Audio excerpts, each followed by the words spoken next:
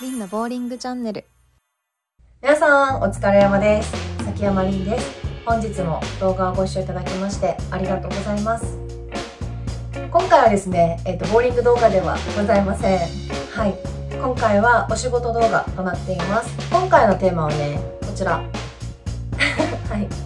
え未経験の方があのフリーランスになるための6つのやるべきことについてあのお話ししていきたいと思います。このテーマをねお話ししようと思ったきっかけがですねあの実はこちらのあの YouTube 以外でも実はねその SNS の Twitter だったりとかあとは Instagram などの方でもあのお仕事についてだったりボーリングに関するあの情報を発信させていただいてはいるんですけどもその中のあのよく問い合わせの方でねあのリンさんはあのどうやってあのフリーランスになったんですか？とかフリーランスになるためにはまず何をしたらいいですか？とかあとはねあとは、えおすすめの副業ありますか？っていうことでよくあのご質問をいただくのでまずはこちらのテーマの方からあの分かりやすくねお伝えしたいと思います、まあ、実際ねあの今どんどん働き方があの多様化してきてますのはご存知かと思うんですけどもやっぱりこの何ですかね原因っていうのが今すごく話題にはなってるんですけど物価の上昇だったりとかあとはそのね結構以前からそのお仕事に対するその人間関係のお悩みだったりとかその固定給に対するその不満だったりとかあとはその労働時間とかねその残業ばっかりであの自分の時間持てなくてすごくねその人生楽しんでないんですっていう方はあのいらっしゃると思うんですよ。なのでその何ですかね、まあ、今後そういうまあ働き方とかその、まあ、私のようにねもうこんな感じで こんな感じでったらちょっと答えがあるかもしれないんですけど、まあ、今後ねあのフリーランスも視野に入れてちょっと考えていきたいって方は是非あの見てください、まあ、これからねあのお伝えする6つのお話は、まあ、内容によっては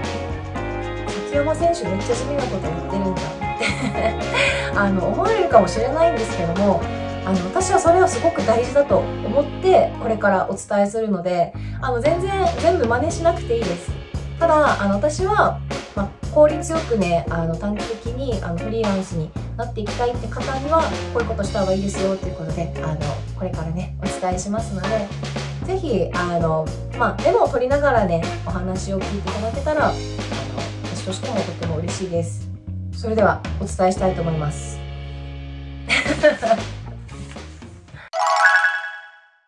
ではね、えー、未経験の方がフリーランスになるための6つのやるべきこと。まず1つ目がですね、こちら、えー、今の現状の悩みをメモしてみてください。今の現状悩みをメモしてみてください。はいまあ、毎日ね、人って何かに悩んでるとは思うんですよ。私もそう。何かに、あの、何かしら、ね、あの、今日は何食べようかなっていうことからその将来どんな風にしていこうかなとか毎日いろいろ考えながらねあの行動しているはずだと思います。そこでまあ普段ね何に悩んでいるのかっていうのを実際この頭の中でイメージするだけじゃなくて紙に書いてみてください。何個でもいいです。例えば、えー、今の現状悩みだったらその月々、まあ、会社員として勤めてるとして月収20万円しか受け取ってないとかね。まあ、例えばですよ。そんな感じで、あの、バーって書いてみてください。そうすることで、あの、メリットは大きく2つあって、まず1つが、えっ、ー、と、頭の中で漠然としたその悩みを、まあ、紙に書き出すっていうことなので、まず整理しやすいですよね。あ、自分こういうこと悩んでたんだ。あ、こんな、なんかしょうもないことも悩んでるなとか、あ、これは、あ、これ前々から結構悩んでるなとか、すごくね分かりやすくあの文字にできるっていうこともあって、まあ、整理しやすいっていうのとあと2つ目がやっぱりもう紙に書くのでこの視界的にもう目で分かりますよね。もうこれはすごくいいよね。いいよね。やっぱりイメージするのと目で見るのは全然違うと思うんですよ、まあ、そうですね。例えば私崎山選手から今からですね沖縄に来てくださいって言われたとします。そしたら今自分自身はどこにいるのかっていうのをまずあの確認すると思うんですよ。なので例えば仮にその北海道から沖縄に行くって方はその今の北海道に住んでる現在地を把握して沖縄に行くと思うんですね。なのでその自分の位置っていうかその現在地っていうのはやっぱ把握すべきであってお仕事も一緒なんですよ。お仕事も今の現状だったりとか今どういうことであの悩んでいるのかそれについてやっぱり自分でもあの把握しておかないといけない。うん、ということで、えー、紙にねぜひ今の現状の悩みを紙に書き出してみてください。そしてね、2つ目はこちらです。はい。理想の状態を紙に書いてください。理想の状態を、えー、紙に書いてください。です。これはね、あの、欲望のままでいいです。欲望のまま。で、もうちょっと、わ、恥ずかしいってぐらいが、あの、ちょうどいいかもしれないです。はい。例えば、月々100万を稼ぐとかね。あとは、タワーマンションに住むとかね。本当に、それぐらい目標高くていいと思います。そしてね、それを、まあ、理想を書いた後に、さっき書いていただいた1番と比べるんですよ。今の悩みとその理想の状態比べる例えばその1番でね今お金がないって書いた方そのさっきねお話しした月収20万円だっていうのを書いてる方がその今の理想の、まあ、状態っていうのは月収100万円だとします。そうすると、その差額のその金額、月収が80万円っていうのが分かりますよね。じゃあその80万円を稼ぐためには、え、私も何したらいいんだろうって、どんどんあの細分化することができるんですよ。で、その細分化をするためには、やっぱりその今の自分のあの現在地、そしてあの目標っていうのを出さないといけないんです。なのでそのギャップを見つけ出すためにも、今のね、理想の状態は紙に書くべきだとは思います。なんかね、人間の脳って本当に面白いことに自分が意識したことしか入ってこないんですよ。例えば、今この動画を見ながらですね、あ、この服かわいいなとか、あの、このね、後ろの、なんかちょっと色似てるんだけど、このあのブランケットね、かわいいなって見てくださってる方も中にはね、もしかしたらいらっしゃるかと思うんですけども理想としてることも一緒でその意識することによってね勝手に情報が入ってくるんですよ。今この動画を見てくださっている方の中にはもともと副業っていう世界について知らなかったはずなんですよ。でその何でしたのかっていうとそのこれからのこの時代の変化が激しい中でやっぱりその個人の力で稼いでいかないといけないとか例えばその副業があるよとかりんちゃんはそういうフリーランスとして活動してるらしいよとかそういう何かしらの情報を得てあのこちらの動画を見てくださってる方も中にはいらっしゃると思うんですね。まあ、それはやっぱりね自分自身のあのゴールがあるからだと思うんですよ。きっとあのこの動画はまあ、一つの手段として見てくださってる方もいらっしゃるかと思います。ということで、あの、目標はね、必ず、あの、明確にすべきです。そのためには、やっぱりその理想としている状態を紙に書いてみてください。はい、そしてですね、三つ目はこちらです。はい、三つ目は、憧れている人を見つけるです。今ね、あの、いるよって方は、あの、全然問題はないんですけれども、まあね、まだいないなって方は、ぜひ、あの、Twitter とか、その、TikTok とかですね、あの、様々な SNS がありますので、その中から、最低1人はね、あの、ぜひとも見つけていただきたいです。そしてね、でその人が考えることだったりとか、その価値観だったりとか、その前向きな姿勢っていうのを自分の中にも取り入れてほしいんですよ。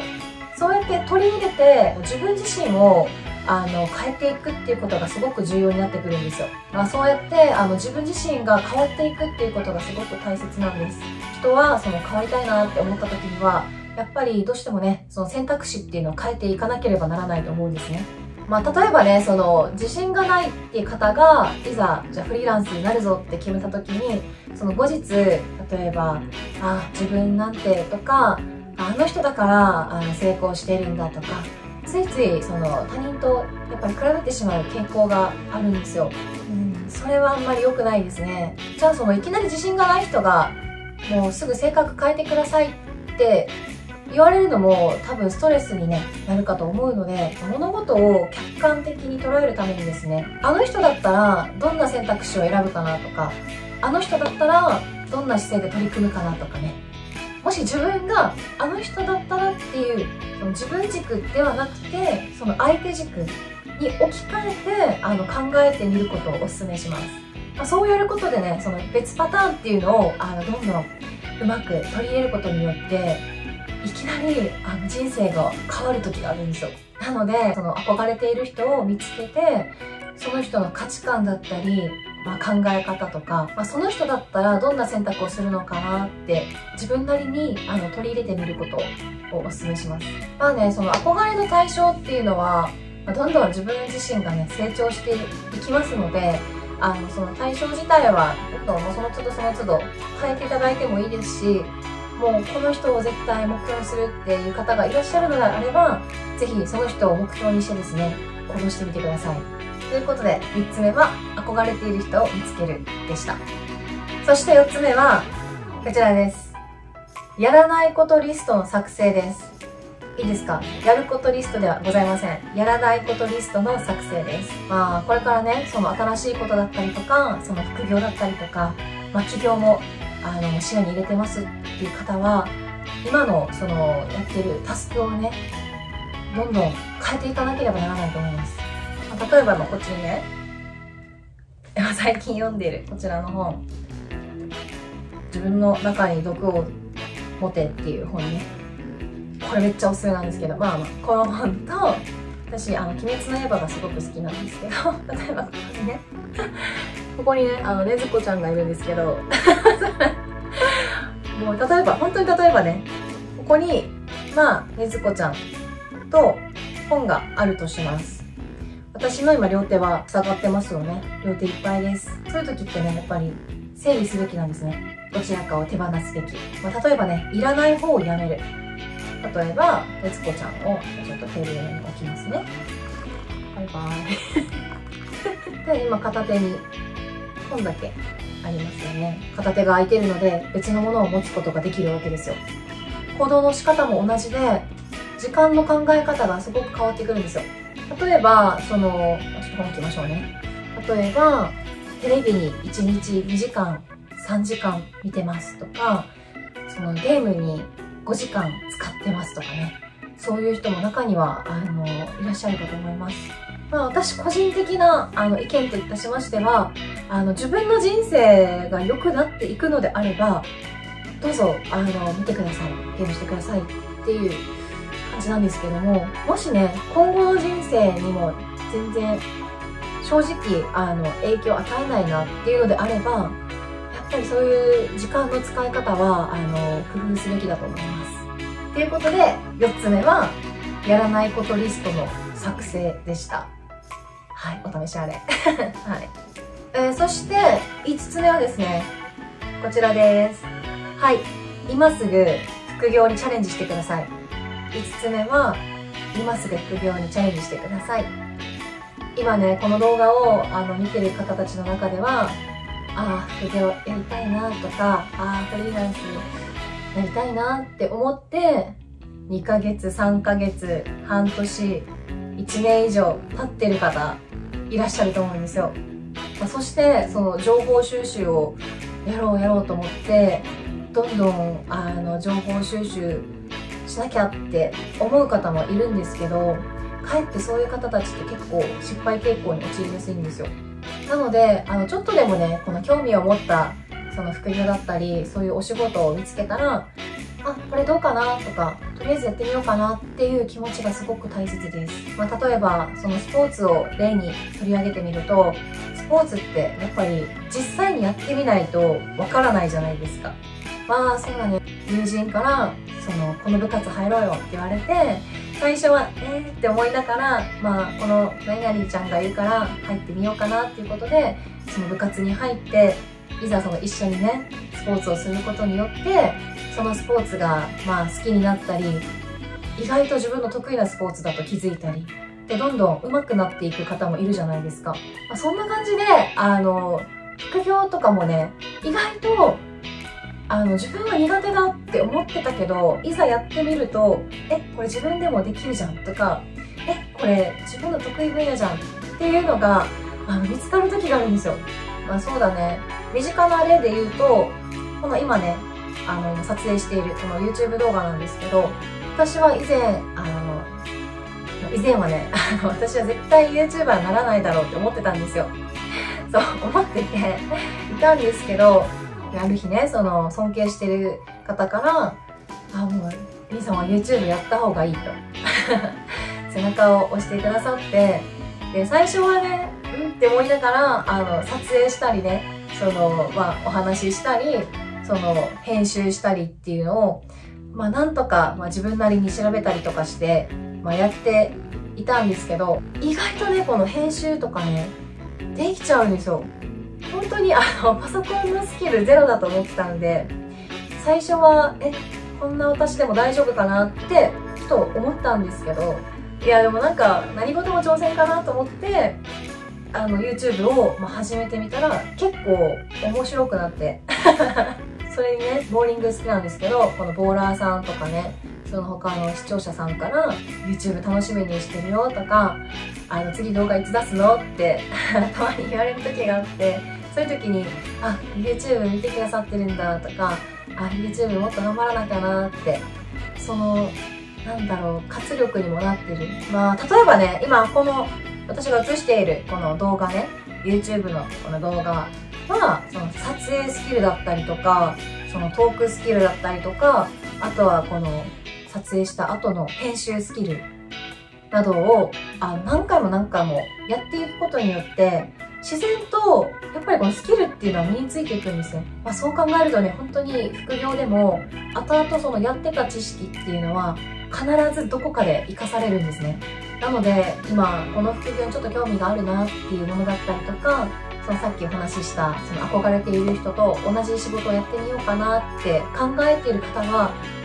まずはトライしてみてください。まずは挑戦しましょう、まあ、個人的な意見なんですけどあのパソコンは買ってた方がいいです、はい、なぜならあのスマートフォンはねもちろんあのネットも使えるし SNS も活用できたりとても便利ではあるんですけども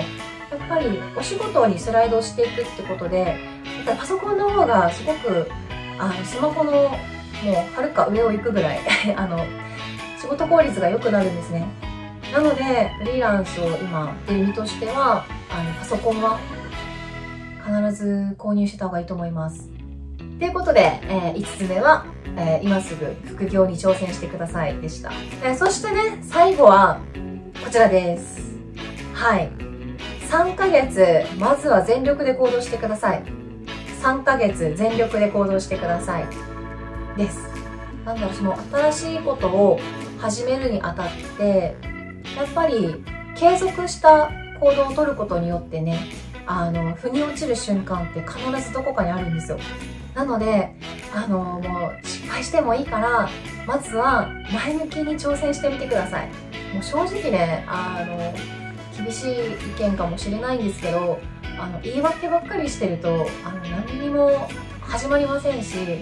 あの失敗どころか、まあ、成功もしません、うん、もう3ヶ月はねまずはもう何が起きても全力で受け止めるっていう熱い気持ちを持ってねまずはあの全力で行動してみることをお勧めいたします。まあね、最後の6つ目は3ヶ月、えー、全力で行動してくださいでした。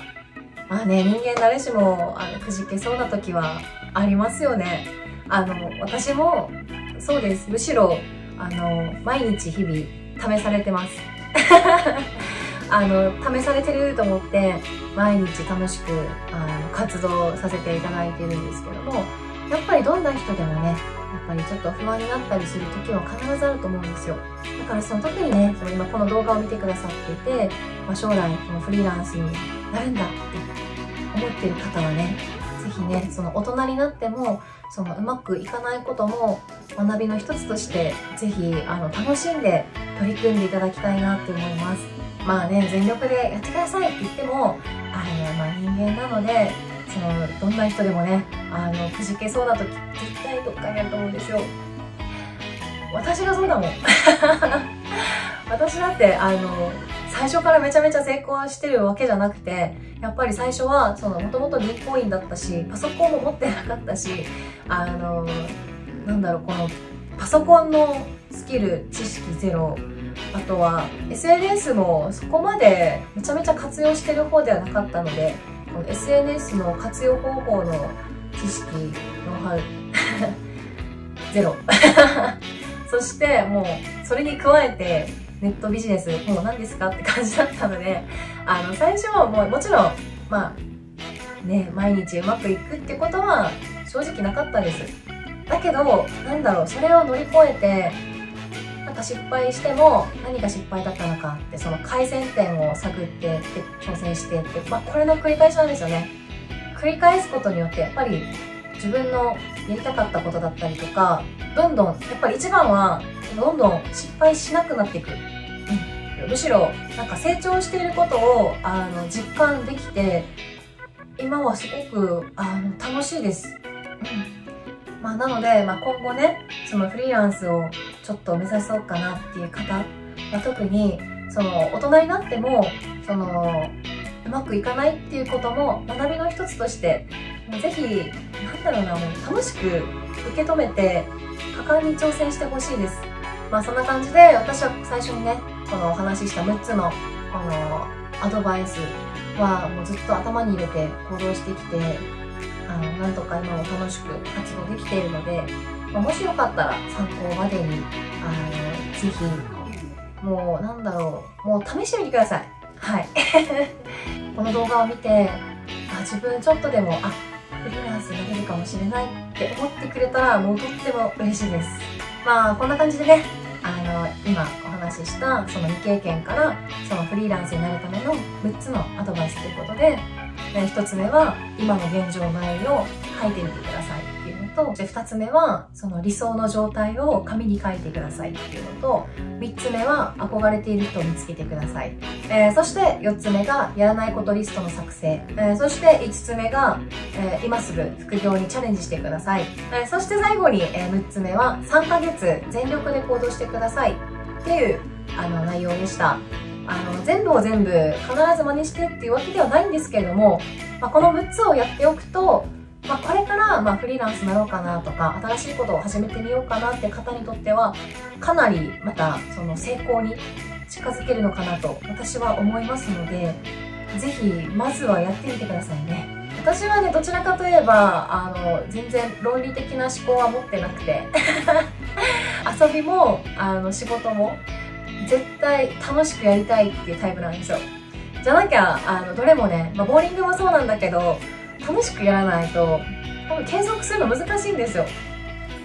なのでその楽しんでやるコツとかもねあのこっそり教えちゃいますので ぜひあのこの機会にまだそのチャンネル登録されてない方はチャンネル登録グッドボタンを押していただいて、まあ、ぜひね今お伝えしたこの6つをやっていただいて何か気づきがあったりとかその質問があったりとか、まあ、もし今後ちょっとね、あの将来のためにお話聞いてみたいなとか、あの、興味あるな、オンラインカウンセラーって何だろうとかね、そういったあの質問とかでも何でもいいので、是非ね、そのコメント欄か、まあ、あとはね、SNS だったらその Twitter と Instagram、そして、えー、公式 LINE も今やってますし、あとは、あの、ストアカーの方でね、オンラインセミナーっていうことで、あの、オンラインカウンセラー、えー、初心者入門講座っていうセミナーもやってまして、こちらに関しては、あの、オンラインカウンセラーになりたい方限定ではなくて、あの、これから、あの、個人の力で稼いでいきたいなって方とか、あの、副業にちょっとやってみようかなって思ってる方は、気軽な気持ちで受けられる、あの、講座になってますので、まあ、何かありましたら、あの、まあ、ぜひね、まあ、興味があるものから遊びに来ていただけたらとっても嬉しいです。ということで、えー、今回の動画は、えー、この辺にしたいと思います、えー、最後までご視聴いただきましてありがとうございました。また、あの、次の動画でお会いいたしましょう。バイバーイ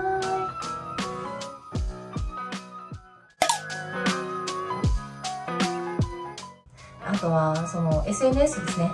Twitter と、えー、Instagram と、えー、あとは？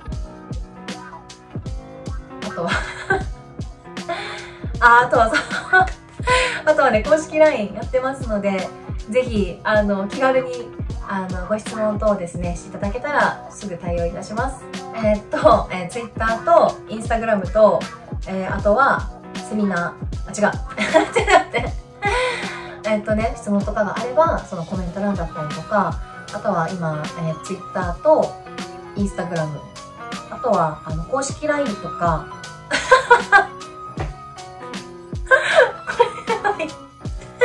間違えた。ごめんなさい。あ、えっとね、